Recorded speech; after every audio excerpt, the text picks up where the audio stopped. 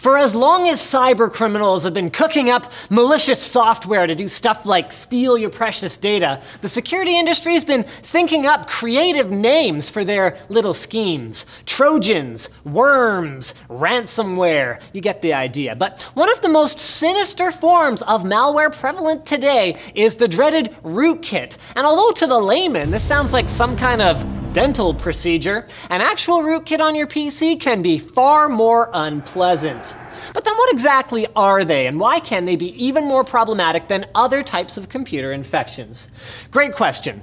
Like with a lot of the other threats to your system, the name rootkit reveals a lot. It's derived from the concept of root access in the operating system Unix, which allows a user broad permissions to change files and settings. And while the means by which different rootkits access to uh, usually off-limits parts of the computer differ, all rootkits serve the same general function to conceal either their own presence or the presence of another piece of malware so that it can carry out its nefarious deeds on your system without you ever knowing.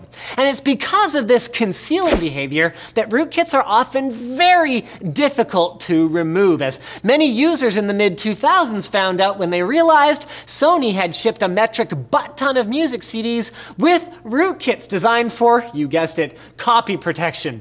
These rootkits hid the DRM software which limited what users could do with their optical drives and also caused serious system slowdowns and introduced a ton of security flaws that other malware creators were able to take advantage of. And then when Sony finally released a removal tool after news of the rootkit went viral, all it did was cause even more issues. So how do rootkits hide themselves anyway? While some rootkits just inject themselves into your programs, somewhat like traditional computer viruses, the more dangerous forms run as part of your operating system's kernel. No, not the chicken guy. But the core part of your OS that allows your programs to communicate with your hardware through things like device drivers. Since drivers usually run in kernel mode, many rootkits disguise themselves as drivers, which is why you should only download drivers from trusted sources like the manufacturer's website, no matter how badly you want to get your fancy new graphics card working.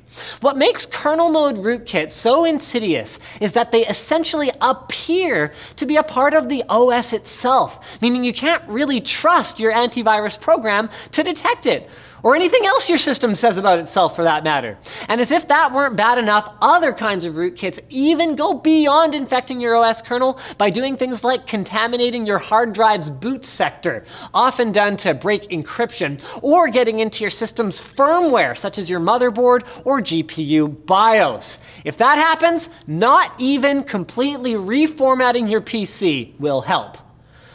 Well, Linus, that all sounds pretty darn awful. Um, if I don't even know I have a rootkit, how can I get rid of them?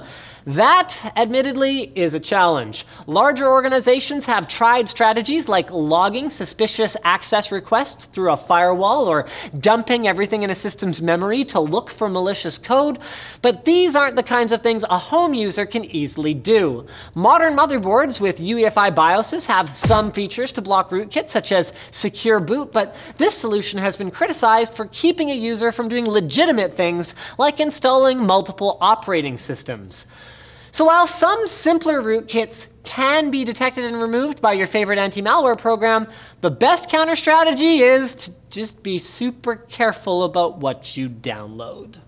Speaking of things to be downloaded, why don't you download some knowledge to your brain? littleBits lets everyone use electronics as modular building blocks. Their modules snap together with magnets so you can create circuits in seconds. It's perfect for kids, parents, big kids, Yo, coders, hardware hackers, makers, artists, designers, engineers, and students, and with littleBits, you can even get your dog to like send text messages or make a robotic snack server. So why buy electronic toys and gadgets when you can literally invent them? The modules range from very simple, you know, power sensors, LEDs, to very complex with wireless and programmable modules. And there's over 60 modules that can be used in a vast number of creative combinations. And better yet, littleBits is offering new customers customers 20 bucks off their first kit and free shipping anywhere in the continental US. All you got to do is go to littlebits.com slash techquickie. That's littlebits.com slash techquickie. I don't know why that's in there twice. And uh, go ahead and uh, get 20 bucks off. Woo!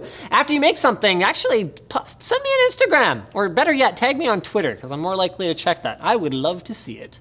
So thanks for watching, guys. If you liked the video, do that thing. If you disliked it, do the other thing. Uh, check out our other channels. We've got a great video on channel Super Fun right now. It's like part two of the Nerf battle. Uh, the fire department shows up, so definitely not going to want to miss that. And uh, also leave a comment under the video if you have suggestions for future Fast as Possibles. And don't forget to subscribe and follow and all that good stuff. See you next time.